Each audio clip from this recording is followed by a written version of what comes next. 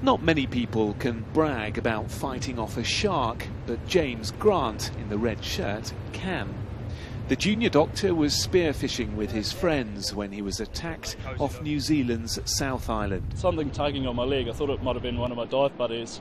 Turned around, I saw a big silver face looking at me, and a big body trailing off behind. The shark was perhaps looking for dinner, but hadn't bet on James's response. All I went to do was stab it as many times as I could, really, and eventually let go. James limped back to his car and, using his first aid kit, stitched himself up. But instead of heading straight to A&E, he instead sought medicinal help here, the local pub. Gave him a pint of beer and his mates were uh, kicking around, laughing. And uh, yeah, then we brought out the big first aid kit and got a little bandage out. Um, it was a couple of good holes on, the, on the, both sides of his leg. The doctor is now back at work having redefined the phrase tough guy. Jonathan Samuels, Sky News, Sydney.